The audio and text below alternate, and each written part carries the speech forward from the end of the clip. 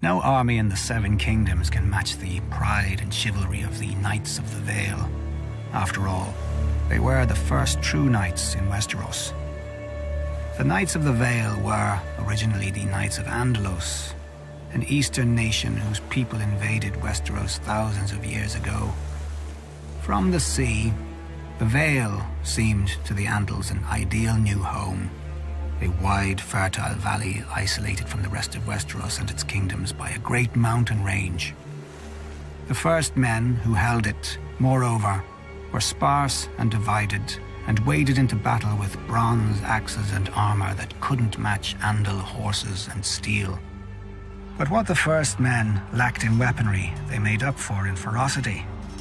Finally uniting behind King Robar Royce, the first men smashed the Andals in battle after battle, reclaiming the Vale and pushing the invaders back to the sea from whence they'd come.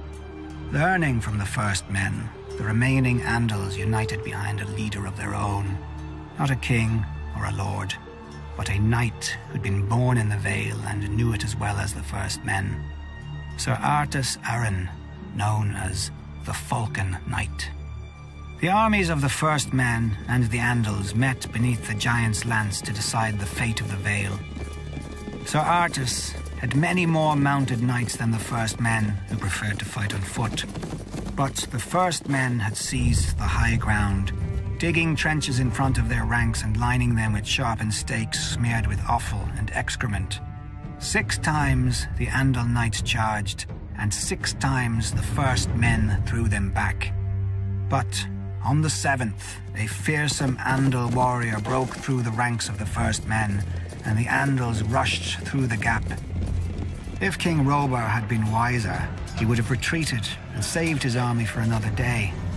Then again, if he'd been wise at all, he'd never have risked his army of foot soldiers against mounted knights in the first place.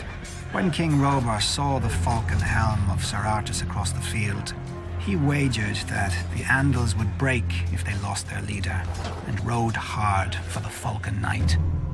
The singers paint a pretty picture of the battle. The king in flashing bronze armor, the knight in silvered steel. But the duel lasted no longer than a verse of the songs. For King Robar had taken a Valyrian sword off a dead Andal lord, and it sheared through Sir Artus' helm much like a bird's wing through the air. As the Falcon Knight tumbled to earth, King Robar thought he'd won his desperate gamble. Then he heard the trumpets behind him. When he turned, he saw 500 fresh Andal knights pouring down the giant's lance. And the man at its head was also the man at Robar's feet.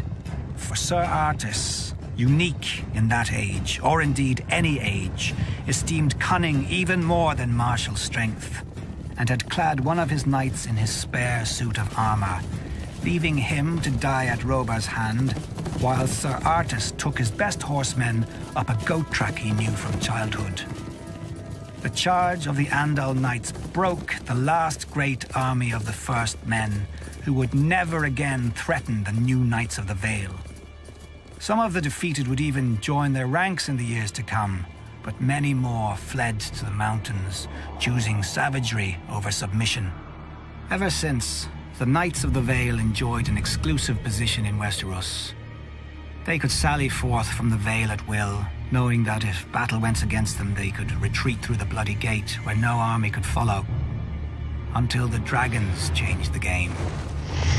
When Aegon the Conqueror landed in Westeros, Queen Regent of the Vale shut the Bloody Gate against the Targaryens and massed the Knights of the Vale behind it to lock it. But Visenya simply flew her dragon to a balcony of the Eyrie where the boy king was playing and gave the boy a ride round the castle in return for his mother's submission.